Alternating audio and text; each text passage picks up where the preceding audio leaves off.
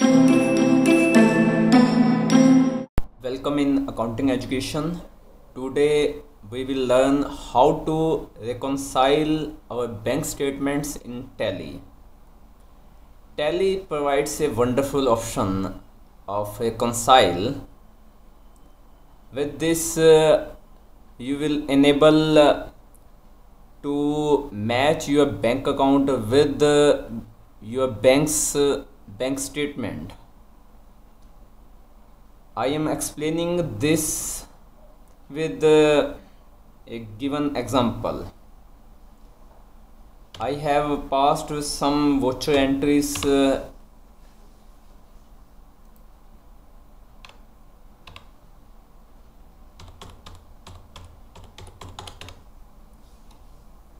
in Tally. One is uh, Mohan's loan, second is social welfare expenses, fees, Sohan's loan. Some are receipts and some are payments. I am dealing with the SBI Bank.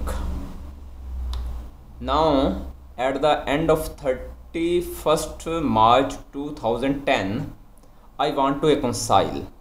For this, I have to go to my account book and then uh, click uh, cash and bank books and and choose uh, the bank. Suppose uh, i want to reconcile with the sbi bank. Click this merge.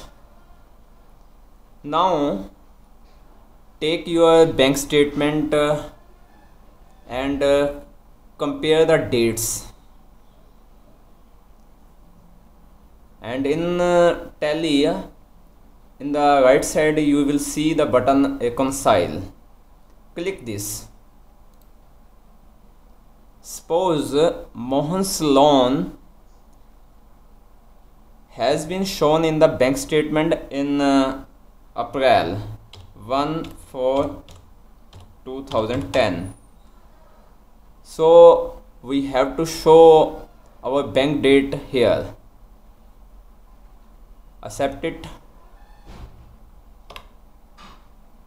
Suppose we received fees as per the bank statement in uh, 2 for 2010 suppose uh, we received loan same date. Suppose uh, you your payment will be debited uh, in your bank account. We can write here 1 for 2010 accept it. And uh, again reconcile button. Now balance as per company's book is showing 4 lakh 33000 but uh, balance as per bank 3 lakh 3000 because uh, some amount uh, is credited uh, in April or some amounts are debited in bank accounts in March. You can check your bank statement and it will be exactly this amount this is okay the bank reconciliation and now print it.